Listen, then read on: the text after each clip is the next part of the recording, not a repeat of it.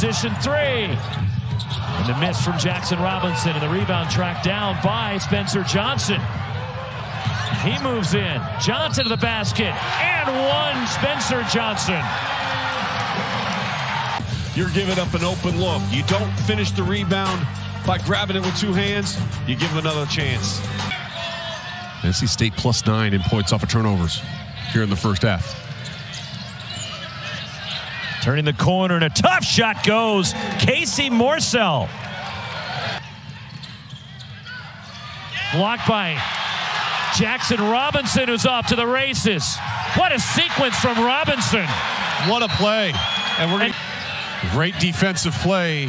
And these two were going after it a little bit. Something was said two possessions ago to Robinson, and then DJ Horne darts in. Horne off balance, can't get the roll, the rebound, and the outlet from Jaxson Robinson. Trey Stewart for the lead.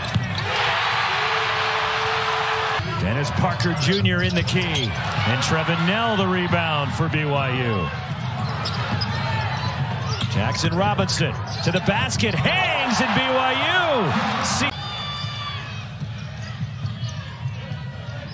Dallin Hall to the basket.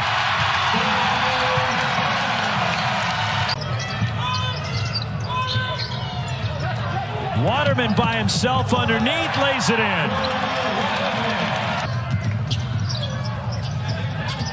break the press now. I would pull it out if I was BYU. I don't get trying to do anything there. Here comes Casey Morsell back the other way.